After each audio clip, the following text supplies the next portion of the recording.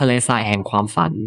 ในห้วงทะเลทรายแห่งความฝันอันเวิงวางและไร้ขอบเขต อลิสาผู้เป็นนักเดินทางผู้โดดเดี่ยวได้ก้าวเท้าเข้ามา เธอถูกดึงดูดเข้ามาด้วยคำสัญญาแห่งความลึกลับ และการค้นพบที่ซ่อนเร้นอยู่ในผืนทรายที่แผดเผา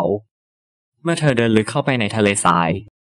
ดวงอาทิตย์ที่แผดเผาก็เริ่มทอดแสงจ้าราวกับเพชรบนผืนทรายที่ร้อนระอุแต่ละก้าวที่เธอเดินไปนั้นเต็มไปด้วยความท้าทายและความไม่แน่นอน แต่เธอก็ยังคงเดินต่อไปด้วยความมุ่งมั่นและความกระหายที่จะค้นพบ ขณะที่เธอเดินทางไปเรื่อยๆ เธอก็เริ่มเห็นภาพแวบๆ ของสิ่งที่อยู่ข้างหน้า เหมือนกับภาพลวงตาที่ปรากฏขึ้น และหายไปในผืนทรายที่ไหลเวียนอยู่ตลอดเวลา บางครั้งเธอก็เห็นภาพโอเอซิสที่เขียวชอุ่ม บางครั้งเธอก็เห็นภาพเมืองที่เต็มไปด้วยชีวิตชีวา แต่เมื่อเธอพยายามเข้าใกล้ ภาพเหล่านั้นก็จะจางหายไปราวกับควัน อลิสาเริ่มสงสัยว่าเธอจะหลงทางในทะเลทรายแห่งความฝันนี้ตลอดไปหรือไม่ แต่แล้วเธอก็ได้ยินเสียงกระซิบที่พัดมาตามสายลม เสียงนั้นบอกให้เธอเดินต่อไป อย่าละทิ้งความหวัง